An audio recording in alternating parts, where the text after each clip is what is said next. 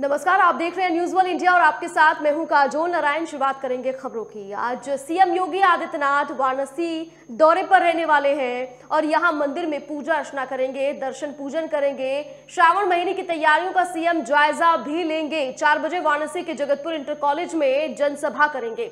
आपको बता दें कि केंद्र सरकार के नौ साल की उपलब्धियों को लेकर जनसभा कार्यक्रम है। इसके बाद सीएम किसानों को बड़ी सौगात दे सकते हैं। कारखिया गाँव में बने पैक हाउस को हरी झंडी दिखाएँगे। काशी दौरे पर रहेंगे सीएम योगी आदित्यनाथ। मंडलायुक्त रोशन जकेब ने निरीक्षण किया है।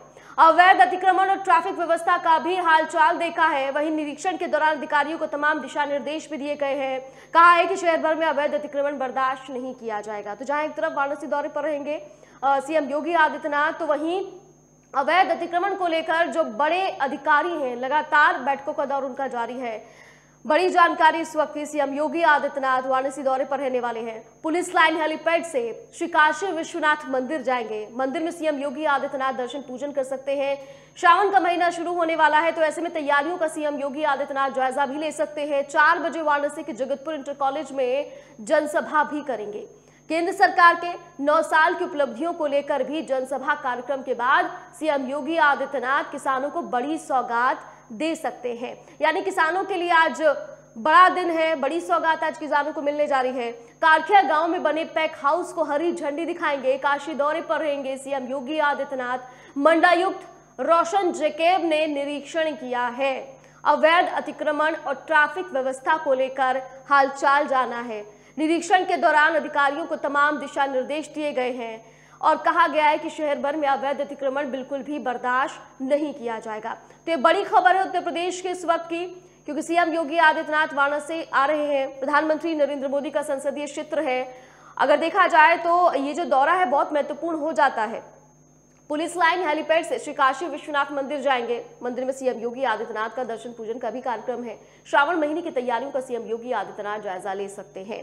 चार बजे वाराणसी के जगतपुर इंटर कॉलेज में जनसभा भी करेंगे। केंद्र सरकार के नौ साल जो पूरे हुए हैं, जो काम किए हैं, केंद्र सरकार ने नौ साल में उसकी उपलब्धियों को लेकर एक जनसभा भी करेंगे।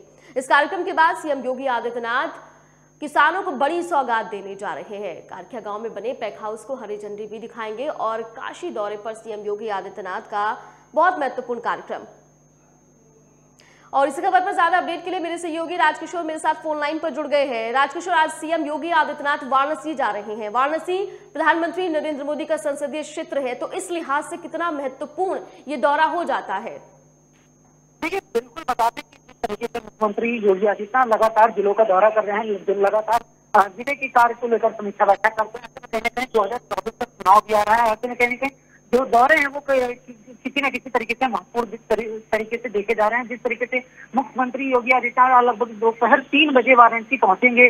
जहाँ पर पुलिस लाइन हेलीपैड से काशी विश्वनाथ मंदिर जाएँगे। उसके बाद सीएम योगी दर्शन पूजन भी करेंगे। उसके साथ साथ वहाँ के जो क्षेत्रीय कार्य हैं और उनके संगठनों के जो कार्यकर्ता हैं उनके साथ बैठक भी करेंगे। उसके साथ साथ चार बजे बात करेंगे तो इंटर कॉलेज में एक बड़ी जनसभा को संबोधित करेंगे। वहीं केंद्र सरकार के नौ साल का जो कार्यकाल पूरा हुआ है एक तरफ़ देखा जाए तो प्रधानमंत्री नरेंद्र मोदी का वो क्षेत्र भी है संसदीय क्षेत्र भी है तो ऐसे में कहीं ना कहीं केंद्र की जो सरकार केंद्र सरकार की जो नौ साल का कार्यकाल पूरा हुआ है उसको लेकर भी जो कार्य कराए गए हैं, उसको भी जनता के बीच में रखे जाएँगे। राजकिशोर, किसानों के लिए क्या खास सौगात आज देने वाले हैं सीएम योगी आदित्यनाथ? क्योंकि किसानों का जिस तरह से रुख रखा जा रहा है, वो भी बहुत महत्वपूर्ण हो जाता है। जिस तरह से हमने देखा कि 2020 के बाद से ही लगातार जो आंदोलन शुरू हुआ था किसानों का, जो प्रदर्शन शुरू हुआ था, उससे कहीं ना कहीं केंद्र सरकार पर काफ़ी असर पड़ सकता है। ऐसे में किसानों को मनाने की, रिझाने की कोशिश हो रही है। तो इस लिहाज से क्या सौगात है आज किसानों के लिए? देखिए देखिए बिल्कुल बता दें कि जिस तरीके से कहीं ना कहीं कृषि जो विभाग है, वो लगातार तो भारतीय जनता पार्टी की सरकार चाहे केंद्र में हो, चाहे राज्य में हो, लगातार किसानों को लेकर बड़ी सौगातें देने का काम कर रही है। ऐसे में सहकारिता विभाग की तरफ़ से लगातार नए नए गोडाउन बनाए जा रहे हैं, जिससे किसानों की जो आय है, उसको भी दोगुनी को लेकर बड़ी चर्चा की जाए और उस पर जो एक बजट है, वो प्रदेश सरकार की तरफ़ से दिया जा रहा है। हालाँकि देखिए जिस तरीके से मुख्यमंत्री योगी आदित्यनाथ आज सरखनिया गाँव में पैक हाउस जो बनाया गया है सहकारिता विभाग के द्वारा उसको लेकर हरी झंडी दिखाएँगे और उसको आज निर्माण कार्य को लेकर भी मुख्यमंत्री योगी आदित्यनाथ समीक्षा बैठक कर सकते हैं। बिल्कुल राजकिशोर इसके अलावा देखिए ट्रैफ़िक व्यवस्था जो है और जो अवैध अतिक्रमण है उसको लेकर भी खासा फोकस किया जा रहा है। मंडलायुक्त रोशन जकेब ने निरीक्षण किया है क्या कुछ दिशा निर्देश दिए गए हैं क्या बैठक में चर्चा हुई है किस तरह से ट्रैफ़िक व्यवस्था को सुचारू किया जाए क्योंकि आने वाले समय में देखिए श्रावण का महीना शुरू हो जाएगा। उत्तर प्रदेश से लाखों की संख्या में लोग हरिद्वार जाते हैं कांवड़ लेने के, फिर आते भी हैं जल चढ़ाने के लिए। देखिए, बिल्कुल बता दें कि जिस तरीके से राजधानी लखनऊ में लगातार ट्रैफ़िक का ट्रैफ़िक व्यवस्था में सुधार होने का कोई आशा नहीं दिख रहा है। इसको लेकर बीते दिन उप मुख्यमंत्री विजय पाठक ने भी एक बड़ी बैठक की थी। उसके साथ साथ सभी मंडल आयुक्त जो राजधानी लखनऊ के मंडल आयुक्त है राशन जैकब को अभिनिर्देशित भी किया गया था। उसके बाद नगर निगम के अधिकारी को भी लगाया गया था, पर कहीं ना कहीं उसमें अभी भी कमी नज़र आ रही हालाँकि इसको लेकर मंडल आयुक्त रोशन जैकब ने एक बड़ा फैसला लिया है और जिस तरीके से देखा जा रहा है कि अवैध अतिक्रमण और जो इंक्रोचमेंट है, जो रोडों पर दुकानें या गाड़ियाँ खड़ी होती है, उनको लेकर एक बड़ा अभियान चलाया जाएगा, जिसको लेकर मंडल आयुक्त ने निर्देश दिया है। बिल्कुल, यानी कहा जा सकता है कि कानून व्यवस्था को लेकर और तमाम जो त्योहार आ रहे हैं। आगामी जो त्यौहार है, उसको लेकर पुलिस प्रशासन पूरी तरह से अलर्ट मोड पर है। बिल्कुल बिल्कुल बता दें कि आने वाले समय में इकतीस जुलाई को जैसे कि ईद उल जुहा और भी कई सारे आगामी त्यौहार आने वाले हैं, इसको लेकर भी कहीं ना कहीं प्रशासन पहले से सतर्क है। उनके लिए रोड मैप तैयार किया गया, रोड वर्जन रूट डाइवर्जन भी बनाया जा रहा है कि किसी प्रकार से आम जनता को भी दिक्कतों का सामना न करना पड़े। इसके साथ साथ जो कांवड़ यात्रियाँ हैं और जो त्यौहार हैं उनको मद्देनजर देखते हुए जो दुकानें लगती हैं, उनको लेकर भी खास ख्याल रखा जा रहा है। जी। ठीक है, किशोर, शुक्रिया तमाम जानकारी पहुँचाने के लिए। तो आज उत्तर प्रदेश में सीएम योगी आदित्यनाथ का वाराणसी दौरा है, बहुत महत्वपूर्ण हो जाता है। चुनाव के लिहाज से भी 2024 के जो लोकसभा चुनाव है, उसके लिहाज से साथ ही साथ अगर देखा जाए तो जो जनसंपर्क अभियान चल रहा है, उसके तहत भी ये बहुत महत्वपूर्ण हो जाता है। क्योंकि यहाँ सीएम योगी आदित्यनाथ, पहले तो काशी विश्वनाथ जाएँगे, दर्शन पूजन करेंगे, उसके बाद एक विशाल जनसभा को संबोधित कर सकते हैं। केंद्र सरकार की उपलब्धियाँ गिनाएँगे, साथ ही साथ यहाँ पर किसानों को बड़ी सौगात दे सकते हैं। इसके अलावा पुलिस प्रशासन पूरी तरह से अलर्ट है। मंडलायुक्त तो है लगातार बैठकें कर रहे हैं। कानून व्यवस्था पर डिस्कशन हो रहा है। इसके अलावा तमाम दिशा निर्देश अधिकारियों को दिए जा रहे हैं। साथ ही साथ रूट डायवर्जन को लेकर भी, ट्रैफ़िक रूल्स को लेकर भी, अवैध अतिक्रमण को लेकर भी तमाम दिशा निर्देश दिए गए हैं, ताकि किसी तरह की कोई भी गड़बड़ी उत्तर प्रदेश में ना देखी जाए। चलिए आगे बढ़ते उत्तराखंड का रुख करेंगे, जहाँ पर लोकतंत्र सेनानियों का सम्मान कार्यक्रम रखा गया है। जी हाँ, कांवड़ यात्रा 2023 की तैयारियों की बैठक में शामिल होंगे सीएम धामी। आपको बता दें कि इसके अलावा भी कई उनके महत्वपूर्ण कार्यक्रम आज लगे हुए हैं। जी ट्वेंटी सम्मेलन की तीसरी बैठक के अवसर पर आयोजित गाला, डिनर कल्चर इवनिंग और रात्रि भोज पर भी संवाद कार्यक्रम है। ये देखा जाए तो अलर्ट मोड पर पूरी तरीके से पुष्कर सिंह धामी है। और जिस तरह से केंद्र सरकार के नौ साल पूरे हो रहे हैं, उसको लेकर इनका भी महा जनसंपर्क अभियान जो है वो चल रहा है। तमाम जिलों का दौरा पहले ही कर चुके हैं। जी ट्वेंटी की जो तीसरी बैठक है, उसकी भी समीक्षा कर रहे हैं। साथ ही साथ कावड़ यात्रा जल्द शुरू होने वाली इसको लेकर भी क्या कुछ तैयारियाँ हैं, क्या कुछ आगे यहाँ पर डिस्कशन होगा, उसको लेकर भी बैठक में लगातार शामिल हो रहे हैं। लोकतंत्र सेनानियों का सम्मान कार्यक्रम है उसमें भी सम्मिलित होंगे पुष्कर सिंह धामी। और इसी खबर पर ज़्यादा अपडेट के लिए मेरे सहयोगी सुभाष मेरे साथ लाइव जुड़ गए हैं। सीधे उनका रुख करेंगे। सुभाष, पुष्कर सिंह धामी के आज महत्वपूर्ण कार्यक्रम है। सबसे पहला कि लोकतंत्र सेनानियों का सम्मान कार्यक्रम में शामिल होंगे। इसके अलावा कावड़ यात्रा की तैयारियों की बैठक में भी शामिल हो सकते हैं सीएम धामी। बिल्कुल काजोल जो सर्वप्रथम कार्यक्रम मुख्यमंत्री पुष्कर सिंह धामी का लगाया गया है, उसमें लोग तांत्रिक जो सैनिक हैं, उनका आज कहीं ना कहीं सम्मान करते हुए मुख्यमंत्री पुष्कर सिंह धामी नज़र आएँगे और जो कार्यक्रम है, वो मुख्यमंत्री आवास के सभागार में रखा गया यानी कि सुबह सबसे पहले मुख्यमंत्री पुष्कर सिंह इस धामी धामी, इस कार्यक्रम को करेंगे। इसके बाद अगर वहीं दूसरी महत्वपूर्ण कार्यक्रम की बात करें तो राजधानी देहरादून सचिवालय भवन में मुख्यमंत्री पुष्कर सिंह धामी जो कावड़ यात्रा शुरू होनी है, उसकी तैयारियों को लेकर एक समीक्षा बैठक करेंगे। यानी कि ये जांचते हैं, समीक्षा बैठक इस प्रकार होगी कि कावड़ यात्रा को किस तरीके से सुचारू रूप से चलाया जाए, क्योंकि जब प्रदेश में कावड़ यात्रा शुरू होती है तो कहीं ना कहीं हरिद्वार, ऋषिकेश, देहरादून या फिर यूँ बात कर ली जाए देव प्रयाग ये वो क्षेत्र है जिस क्षेत्र में बहुत ज़्यादा ट्रैफ़िक की समस्या आती है, अन्य चीज़ों की समस्या आती है तो ऐसे में राज्य सरकार उन सब तैयारियों को पूरी करने की कोशिश कर रही है और यही वजह है कि प्रदेश के मुख्यमंत्री पुष्कर सिंह धामी आज तमाम सर अधिकारियों के साथ समीक्षा बैठक करेंगे, जिसमें पुलिस के अधिकारी होंगे हरिद्वार जनपद के तमाम सारे अधिकारी मौजूद रहेंगे। यानी कि कहा जा सकता है कि यात्रा बेहतर तरीके से चले चार धाम यात्रा के और कावड़ यात्रा में भी किसी तरीके की कोई परेशानी ना आए। उसके लिहाज से आज ये महत्वपूर्ण कार्यक्रम और महत्वपूर्ण बैठक मुख्यमंत्री पुष्कर सिंह धामी लेते हुए नज़र आएँगे। जी। बिल्कुल इसके अलावा जी ट्वेंटी सम्मेलन की जो तीसरी बैठक है उसको लेकर क्या कुछ अपडेट है सुभाष?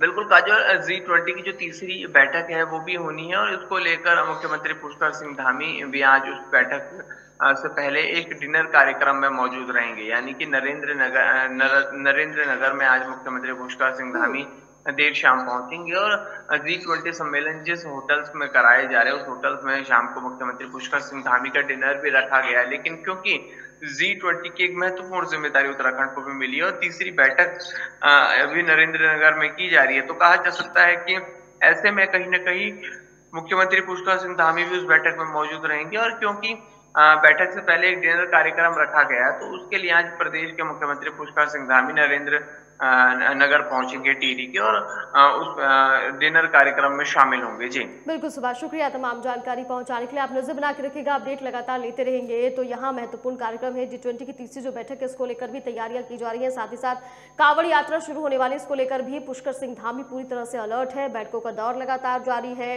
बैठकों में शामिल हो रहे हैं खुद पुष्कर सिंह धामी। आगे बढ़ते रुक करेंगे कुछ और खबरों का।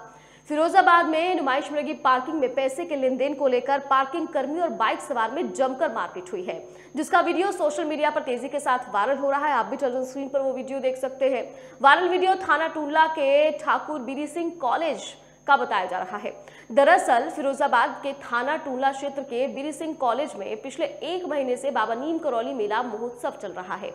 जिसमें लगी वहाँ पार्किंग पर देर शाम बाइक सवार युवक और पार्किंग कर्मियों में जमकर मारपीट हो गई। मारपीट होता देख वहाँ मौजूदा लोगों ने वीडियो बना लिया। वीडियो सोशल मीडिया पर वायरल कर दिया है। बताया जा रहा है कि बाइक सवार से पार्किंग कर्मियों ने बाइक खड़ी करने के पैसे मांगे तो बाइक सवार द्वारा अभद्रता की गई है गाली गलौज किया गया है, जिसके बाद पार्किंग कर्मी और बाइक सवार युवक भिड़ गए और दोनों में जमकर लात घूसे चले हैं। कुछ देर बाद लोगों ने मौके पर पहुंचकर बीच बचाव कराते हुए मामले को शांत कराया है। कुछ लोगों ने घटना का वीडियो बना लिया, वीडियो सोशल मीडिया पर वायरल कर दिया। ये वो वीडियो है, नीम कुरौली बाबा मेला महोत्सव चल रहा है। यहाँ पर पार्किंग की व्यवस्था की गई है। ऐसे में पार्किंग शुल्क जो है बाइक सवार से मांगा गया, लेकिन बाइक सवार को वो अच्छा नहीं लगा। ऐसे में बहस शुरू हो गई, बहस के बीच मारपीट शुरू हो गई। जिसका किसी ने वीडियो बना लिया है। वीडियो सोशल मीडिया पर तेज़ी के साथ वायरल हो रहा है। हालाँकि इस पूरे मामले पर फ़िलहाल जाँच पड़ताल चल रही है। वहीं औरैया में आवारा जानवरों को बचाने के चक्कर में ऑटो बिजली के पोल से टकरा गया। ऑटो में सवार नौ लोग घायल हो गए हैं। घायलों को पुलिस और एंबुलेंस की मदद से सामुदायिक स्वास्थ्य केंद्र में भर्ती कराया गया है। घायलों में छह पुरुष, एक महिला और दो बच्चे शामिल हैं। ऑटो दिव्यापुर से बिधुना की तरफ़ आ रहा था, घटना बिधुना कोतवाली की दिव्यापुर रोड के रावतपुर की है। बता दें कि समय परिवहन विभाग की लापरवाही साफ़ तौर पर देखने को मिल रही है। ओवरलोडिंग में ऑटो चालक मौत को दावत देते हैं, कई एक्सीडेंट हो चुके हैं, साथ ही कई लोगों की मौत तक हो चुकी है। लेकिन सवाल ये उठता है कि परिवहन विभाग ऐसे चालकों पर कोई कार्रवाई क्यों नहीं करता है? और ये की तस्वीरें हैं, बड़ा हादसा हुआ है। जहाँ पर आवारा जानवरों को बचाने के चक्कर में, यानी कि छुट्टा जानवर, जिसको लेकर लगातार पहले भी कई सवाल सरकार से उठाए गए हैं, प्रशासन से पूछे गए हैं, लेकिन इस पर कोई ध्यान अभी तक दिया नहीं जा रहा है। रोज़ाना इस तरह की तस्वीरें सामने आती है। आवारा जानवरों को बचाने के चक्कर में ऑटो बिजली के पोल से टकरा गया। हादसे का शिकार हो गया है। नौ लोग जो ऑटो में सवार थे, वो घायल हुए हैं। घायलों को पुलिस और एंबुलेंस की मदद से सामुदायिक स्वास्थ्य केंद्र में भर्ती कराया, जिसमें छह पुरुष है एक महिला और दो मासूम बच्चे बताए जा रहे हैं। ऑटो दिव्यापुर से बिधुना की तरफ़ आ रहा था घटना बिधुना कोतवाली की दिव्यापुर रोड के रावतपुर की है। बता दें कि समय परिवहन विभाग की लापरवाही देखी जा रही है। ओवरलोडिंग हो रही है ओवरलोडिंग की वजह से कई एक्सीडेंट भी हो रहे हैं कई लोग मौत के मुँह में भी समा चुके हैं। अब ऐसे में सवाल है कि परिवहन विभाग आखिर क्या कर रहा है क्यों आँखें मूंदे बैठा है? पेशेंट लाए गए थे ऑटो की टक्कर बताया क्या है सर किस तरीके से? ऐसा बताया जा रहा है कि टेंपू से टक्कर हुई है। तो हमारे यहाँ छः मेल हैं और एक फीमेल है और दो बच्चे लाए गए हैं और उनका इलाज कराया जा रहा है। डॉक्टर की टीम लगी हुई है? हाँ हमारी डॉक्टरों की टीम लगी हुई है।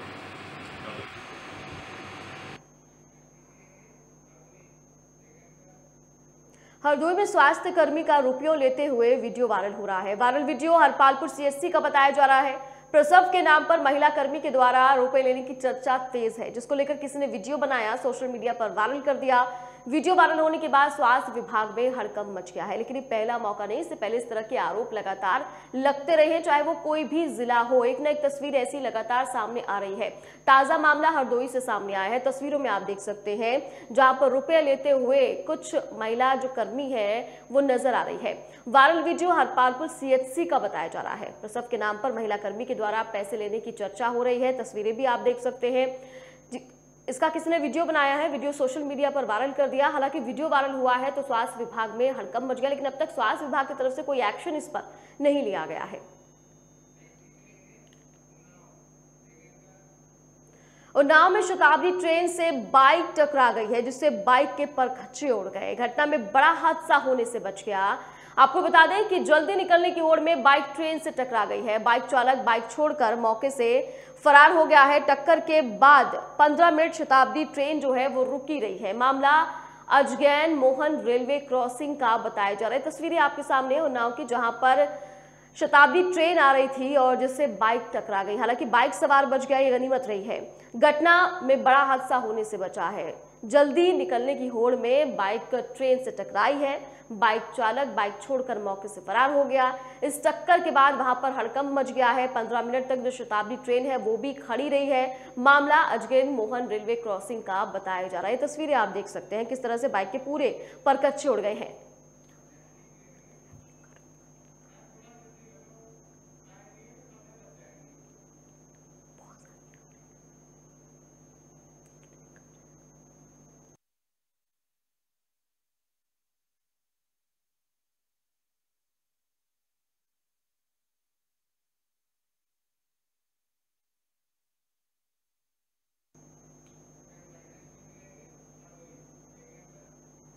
हरदोई में एक युवक अपने चचेरे भाई और कुछ दोस्तों के साथ शारदा नहर में नहाने गया था।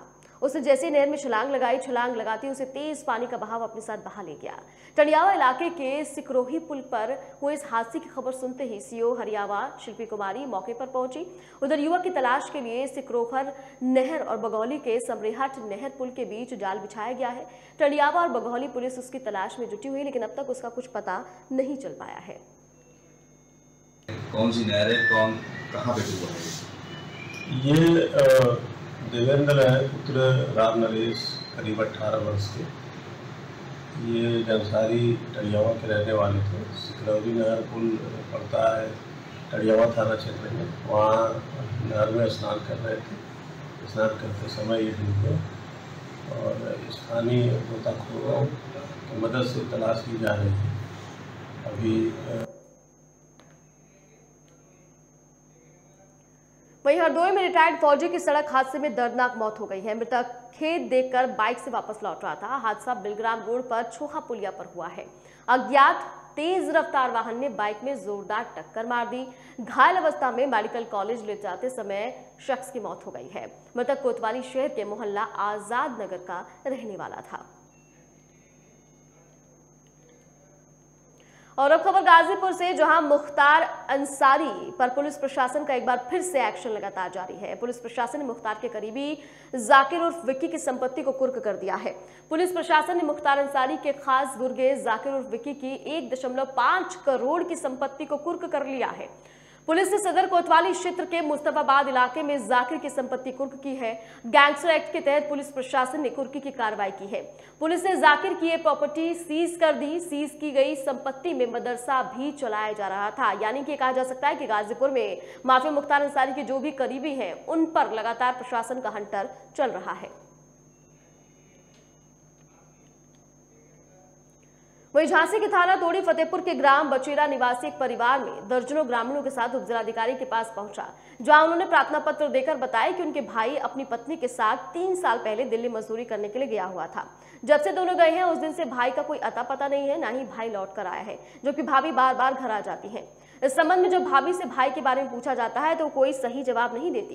तो वहीं घर वाले और परिजनों के मन में आशंका है कि कहीं भाई के साथ कोई अनहोनी तो नहीं हुई है। तो वहीं ग्रामीणों ने उपजिलाधिकारी से मामले को संज्ञान लेते हुए गुमशुदा भाई को खोजे जाने की मांग की है साथ ही अपनी भाभी पर भी कई गंभीर आरोप लगाए हैं। क्या नाम आपका? प्रमोद। अच्छा किस गाँव के निवासी हो? बचीरा। अच्छा ये बताइए आप लोग इतने सारे लोग आए हो गाँव के एसडीएम साहब के पास? क्या मामला है इनका? ये मामला है कि इनका भाई देशराज इनका भाई दिल्ली उनकी बहू दिल्ली गई तो तीन साल से लौट के नहीं आई। अच्छा कौन कौन नहीं आया लौट के? देशराज उसकी बहू आती है तो यहाँ ड्रामा मचाती है कि हमको ज़मीन जायदाद हिस्से दो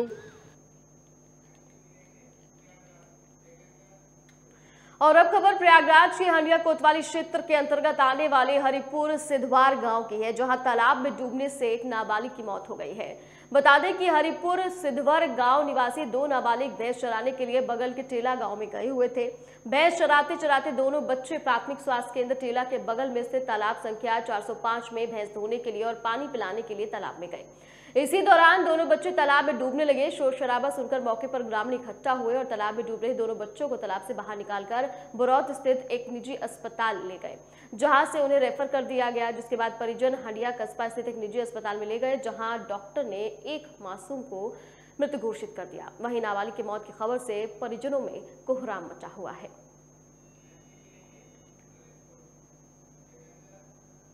वहीं ललितपुर के मोहल्ला नेहरू नगर निवासी एक परिवार अपने खेत पर गया हुआ था। जब खेत पर पहुँचते ही अचानक उनके ऊपर गाँव के दबंग लोगों ने जोरदार हमला कर दिया। अचानक इस हमले से परिवार अपने आप को बचाव करता हुआ नज़र आया। दो भाई और उनकी पत्नी को जमकर दबंगों ने पीटा है। सभी को लगभग एक दर्जन से ज़्यादा लोगों ने लाठी डंडों, लात घूसों से जमकर पीटा है। वहीं जाते जाते दबंग लोग जान से मारने की धमकी देते हुए वहाँ से भाग खड़े हुए। घटनास्थल से 112 पुलिस को भी फ़ोन किया गया, जब तक पुलिस पहुँची तब तक दबंग मौके से भाग चुके थे। पुलिस के द्वारा पीड़ितों से शिकायती पत्र लेकर और पुलिस कार्रवाई में जुट गई है, लेकिन पीड़ितों ने बताया कि कई बार दबंगों की शिकायत जिला प्रशासन से कर चुके हैं, लेकिन कोई कार्रवाई नहीं होती है। कार्रवाई न होने का नतीजा सामने है कि पीड़ित परिवार लगातार न्याय की गुहार लगा रहा है। कहाँ से आई हैं? हम यही ललितपुर के रहने वाले हैं। हसारा में हमारी ज़मीन है। क्या हुआ? क्या घटना हुई? ये मैटर है कि हम अपनी ज़मीन पे भी गए थे। बखन्नी में तो जो सामने नहीं आओ पे भी हम ज़मीन गए। फिर दूसरे ट्रैक्टर वाले को भी मारे। जी बीस लोग हम चार लोग। और हम इन लोगों का सामना नहीं कर सकते जी। जान से मारने के चक्कर में हटे हम लोग आपको मारने आप वहीं एटा में कूड़ा डालने गई महिला करंट की चपेट में आ गई, जिसको परिजनों ने सीएससी अलीगंज में भर्ती कराया, जहाँ डॉक्टर ने महिला को मृत घोषित कर दिया। सूचना पर पहुँची पुलिस ने महिला के शव को कब्जे में लेकर पोस्टमार्टम के लिए भेज दिया है। मामला थाना अलीगंज क्षेत्र के इकरई का बताया जा रहा है।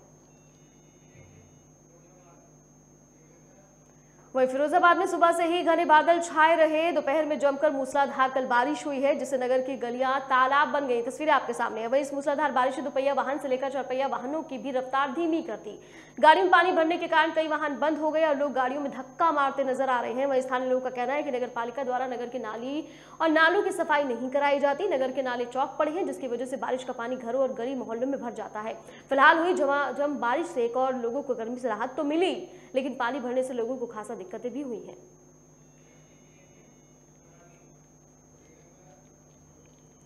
वही एटा पुलिस की यहाँ पर अनोखी पहल सामने आई है, जहाँ पुलिस ने बारिश को लेकर लोगों को जागरूक किया एटा एसएसपी के निर्देश पर कोतवाली नगर पुलिस ने बरसात के मौसम में बिजली के खंभों से दूर रहने की सलाह दी है मामला कोतवाली नगर क्षेत्र के पटियाली गेट का बताया जा रहा है। वहीं अगर थराली की हम बात करें तो यहाँ नारायणबगड़ प्रखंड में पिछले कई महीनों से गौवंश पर लंपी बीमारी का प्रकोप जारी है, जिससे कई गौवंश असमय मौत के गाल में समा चुके हैं। विकासखंड के लगभग सभी गाँव में पिछले कई महीनों में गाय, बैलों और बछड़ों पर लंपी का प्रकोप जारी है। इस बीमारी से अभी तक बहुत गाँव के पशु, पालक, काश्तकार अपने गौवंश मवेशियों को खो चुके हैं, जिसमें लोगों में दहशत का माहौल है। हालाँकि जिला पशु चिकित्सालय विभाग की ओर से एक सचल चिकित्सालय वाहन पिंडर घाटी के तीन विकासखंडों के विभिन्न हिस्सों में गौवंशों मवेशी के उपचार के लिए उपलब्ध कराया गया है ताकि इस बीमारी से निजात मिल सके।